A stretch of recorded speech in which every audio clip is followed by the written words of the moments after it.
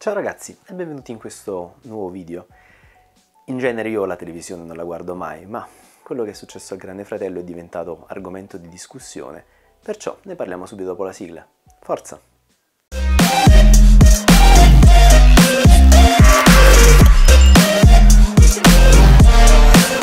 Se vi siete persi un po' gli argomenti di discussione che ci sono stati ultimamente, vi faccio un rapido riassunto. Si è parlato di Marco Bellavia,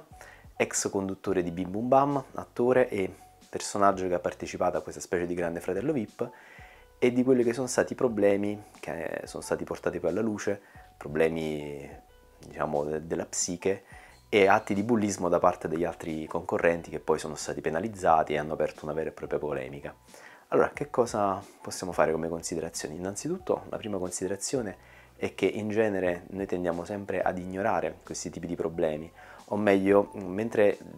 diciamo, una persona disabile con una disabilità evidente, come esempio chi sta su una carrozzina, è subito identificabile e quindi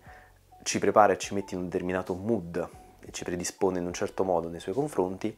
invece questo tipo di problema, facendo parte della psiche, è meno visibile, è più subdolo e quindi eh, difficilmente interpretabile e mette in condizioni gli altri di comportarsi anche in modi non propriamente empatici, non propriamente appropriati, cosa che ovviamente è successo. Ora, ci sono state delle, penalizzazi- delle penalizzazioni, penso sia stato anche giusto, alcuni comportamenti dal mio punto di vista sono stati eccessivi, vi dico una cosa e la metto come premessa, io non ho una laurea in psicologia, non mi occupo di questo campo, non sono assolutamente un esperto e sono semplicemente le mie opinioni, quindi tutto quello che dico da prima e da adesso in poi non è nient'altro che le opinioni di una persona qualunque. Se volete continuare ad ascoltarmi, diciamo le condividerò volentieri con voi. Allora, quando si tratta di questo tipo di problemi, e vi posso assicurare che ho avuto a che fare con persone che avevano problemi psicologici anche più o meno gravi, e si parla di eh, tentato suicidio, è difficile relazionarsi, nel senso nel momento in cui tu sei a conoscenza di questo problema, già eh, diciamo non sai bene in che, modo, in che modo porti, se puoi continuare a comportarti normalmente. Facciamo finta che c'è una specie di linea, tu finché il problema lo conosci, tratti una persona senza nessun problema, senza nessuna remora,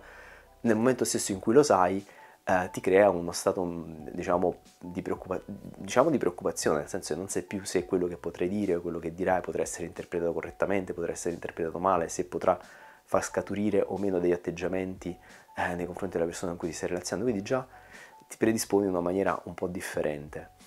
Il fatto che poi appunto non è una cosa ben evidente, ben visibile e soprattutto siccome c'è tanta tanta disinformazione, a volte si può relazionare anche male, a volte si può tentare cioè si tende ad evitare di relazionarsi con questi tipi di persone perché le si ritiene persone problematiche. Ma questo perché? Perché c'è tanta disinformazione, non si sa come ci si può relazionare, come si può reagire, come ci si può comportare in determinati contesti. Io non voglio assolutamente difendere gli, come si dice, i concorrenti del Grande Fratello per come si sono comportati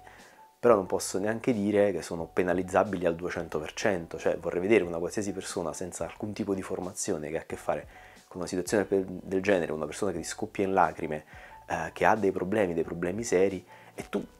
tralasciando loro, mi metto in questi panni e io potrei non sapere come aiutarla, potrei non avere i mezzi adatti, potrei fraintendere, potrei eh, non essere adatto a comportarmi in una determinata situazione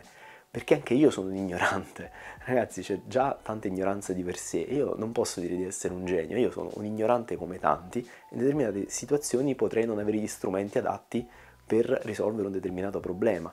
Voglio fare un esempio assurdo, cioè se mi si rompe un computer, io di informatica ne capisco, ne so risolvere, se mi si rompe il quadro elettrico in casa non so dove andare a mettere mano e devo chiamare un elettricista. Con le persone forse c'è un minimo di eh, cosa simile, cioè se c'è una situazione problematica e anche di determinati livelli, non tutti sono adatti a metterci mano, a volte c'è bisogno dei professionisti che sappiano metterci mano, soprattutto quando si tratta di argomenti e di mh, situazioni delicate come quella che si è presentata in televisione. L'unica cosa che mi fa piacere, scusatemi se, se lo dico riguardo questa situazione, è che appunto si è mostrata quella che è l'ignoranza delle persone con determinati eh, diciamo, argomenti, noi tendiamo a mettere come lo struzzo la testa sotto la sabbia per evitare di parlarne e facciamo finta che non esistano proprio, invece forse adesso la gente si documenterà, si documenterà un attimo, si informerà e cercherà di capire meglio qual è stata la situazione che si è presentata, che cosa sono questi tipi di problemi ed eventualmente anche un minimo come potersi relazionare. Ragazzi, scusatemi questa breve chiacchierata, questa sarebbe una riflessione veramente da approfondire. Sono molto curioso di conoscere la vostra opinione riguardo questo argomento, che cosa ne pensate di quello che è successo e di questo argomento di discussione. Vi aspetto nei commenti. Se questo video vi è piaciuto mettete un like, iscrivetevi al canale e condividetelo con i vostri amici. E come se vi va, ci vedremo nel prossimo video. See you next!